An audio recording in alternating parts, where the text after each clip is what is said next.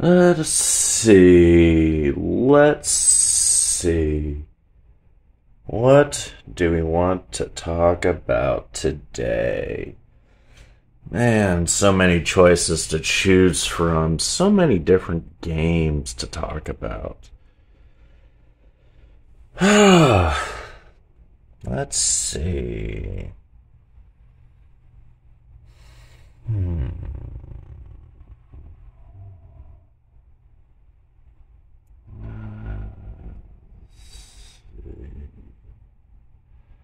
Uh, I think I know what I'll talk about. Here we go. oh, yes. Hey everyone, Shaun here, and today I am talking about a game that really doesn't get talked about a whole lot. From a franchise that is all but forgotten, and was evident that if the company behind it had applied it to a different property, that you could have something very special. And that is Onimusha Blade Warriors. So the Onimusha series debuted on the PS2. It came after the success of Resident Evil, but before Devil May Cry. And it was more of an action fantasy survival horror type series. Now, I will be the first to admit I have not divulged into the series. I actually have not played any of them outside of this title. I've heard a lot of really good things, but was just something I didn't get into, which was kind of odd because it seems like the kind of series I would be into. But I picked this one up. At first, I just rented it, and then later I wound up buying it. And this game is basically Onimusha meets Smash Brothers, in a manner of speaking. It is an arena style fighter with different areas that you can battle and stuff like that.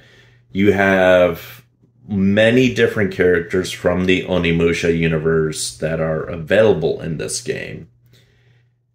And not only that, but you had, of course, your typical unlockables and stuff like that.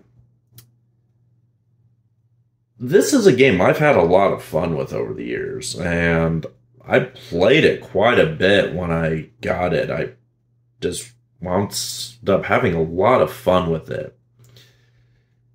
And like I said, I'm not the biggest Onimusha fan. I like I said, I never divulged into the series, but I wound up having a lot of fun with the characters and stuff like that. And I liked the kind of the tongue in cheek nature of it all it's a great game. It's a lot of fun.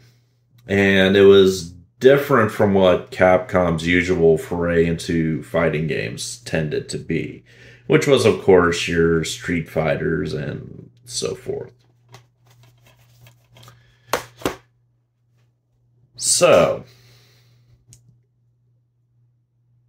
one of the unlockables in this game, there's actually two unlockable characters in particular that were and weren't surprising, but I guess it kind of gave evidence that maybe this style game should be applied somewhere else. And you that was Zero from the Mega Man X series, more specifically his variation from the re, from the Zero series which was coming out at that time. And Mega Man NT, or aka Battle Network Mega Man. And of course, that was just really, really awesome to unlock in the game. And so it leads me to where I think this game really should have focused on. Although I understand why they went with Onimusha at the time. And that is, of course, Mega Man. I could always talk about Mega Man. That I mean, that much is evident. But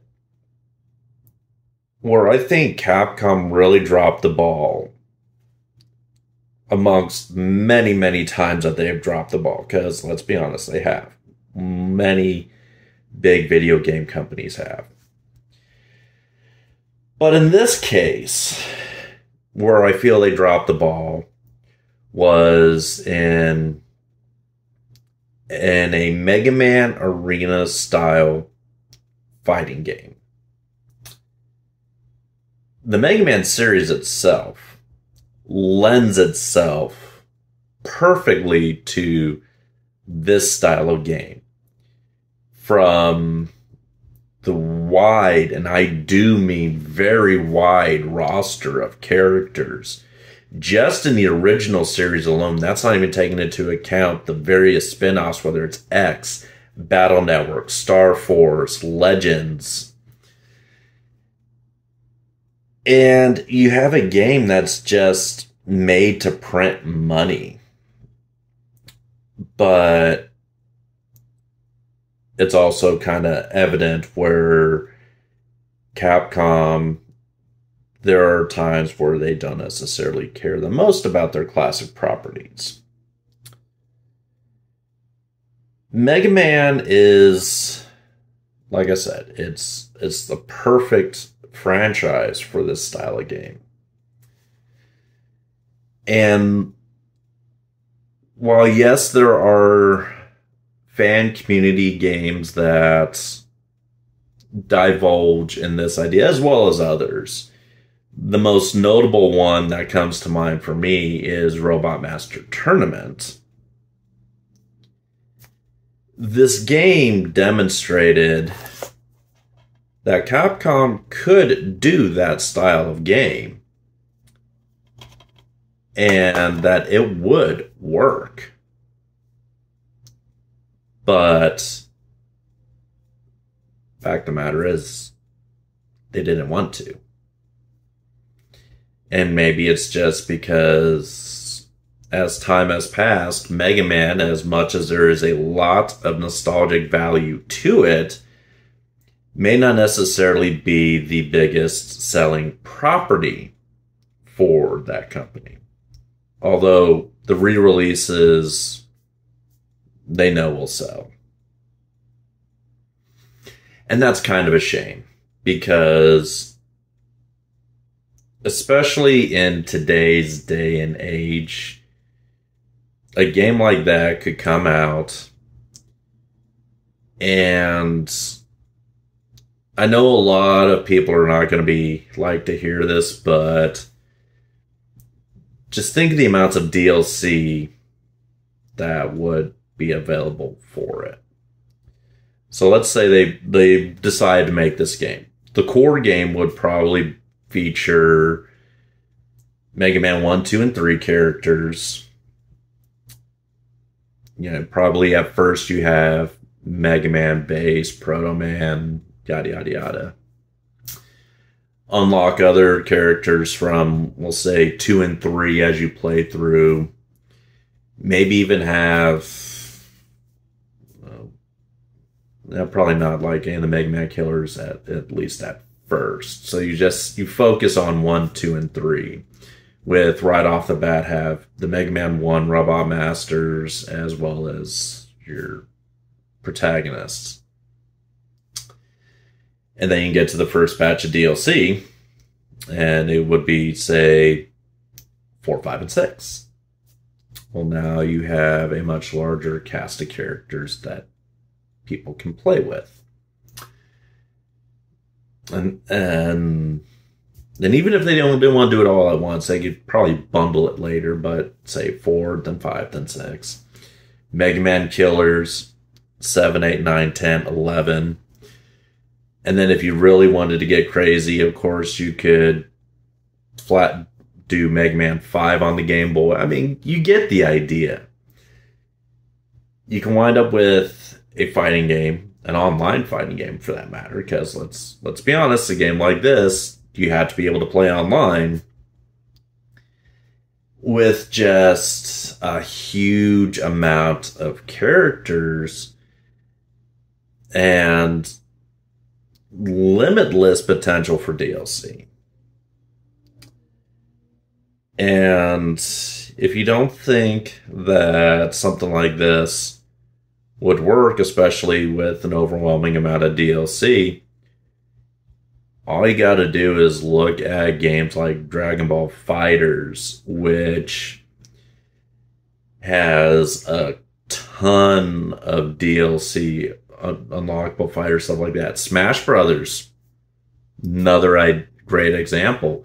I mean, they rolled out season passes with new characters that they brought out on a semi regular basis. I mean, that's just that's the era we live in in regards to gaming.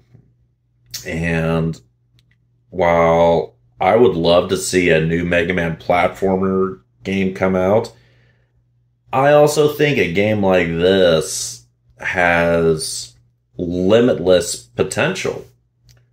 And if it were to be successful enough, I mean, shit. Be a good reason to bring back the franchise. I mean, the fan base is still there, you know, but companies like Capcom, they they know where their focus is at. And it's maybe not always what us nostalgic old school gamers would like it to be. And, you know, it is what it is. And anyway, that's it for today. I wanted to talk a little bit about Onimusha Blade Warriors and, well, a game that I feel would have been better suited for that style of game. Uh, thank you for listening to me ramble on about this, and I will catch you next time. If you have played this game, comment below. Let me know what you thought. If you haven't, check it out. So, all right, guys. Talk to you later.